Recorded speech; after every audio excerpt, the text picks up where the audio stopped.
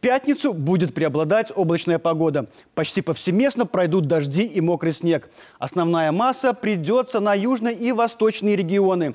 Местами будет сгущаться туман. При этом видимость снизится до 500 метров. Опасности на дорогах добавит гололедица. Ветер будет южный, юго-западный, умеренный.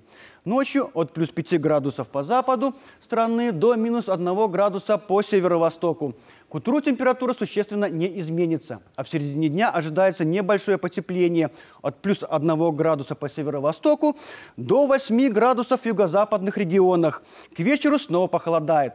Последний день осени температура воздуха начнет постепенно понижаться и в течение суток составит от плюс 1 по северо-востоку до плюс 5 градусов в юго-западных регионах. На большей части территории страны пройдут небольшие кратковременные осадки, дождь, переходящий в мокрый снег. Ночью и утром в отдельных районах туман, слабый гололед. Ветер умеренный, местами порывистый. В начале декабря температура продолжит понижаться.